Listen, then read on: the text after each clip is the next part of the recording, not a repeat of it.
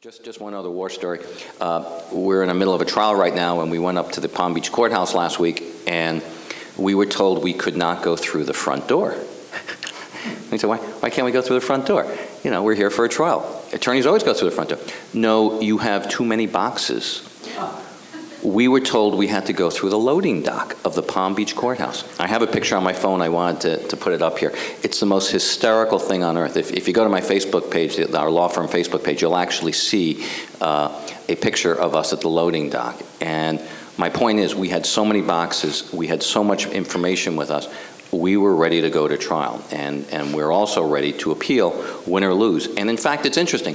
Judges know when a case is going to be appealed by both sides. And many times, probably a dozen times, I've had judges say, you know, it doesn't matter how I rule, I know one of you is taking this on appeal.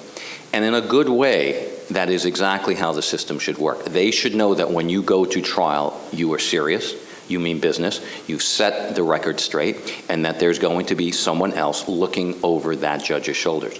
And the reason I say that, if the judges in, in the court do not believe that there's going to be someone questioning them or second guessing them, they will do whatever they feel is right, and maybe they feel that is their constitutional role, but that isn't their role. Their role is to follow the law and the rule of law. And all of us here, I'm sure, have war stories where judges have, have done what they thought was right at that moment in time, but it was way off the reservation.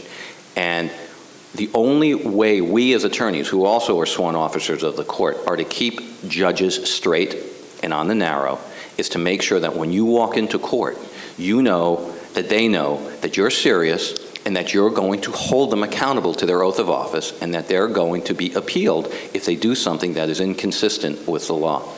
And if you don't walk in with those boxes and if you don't walk in prepared, you really shouldn't be in trial. And I tell my kids this when they go have a test. I say, you pass that test, you, you get 100 on that test, you get a 9, I don't ask for hundreds. Uh, you know, you'll get a 90 or a 95 on that test before you walk into that test because it is preparation.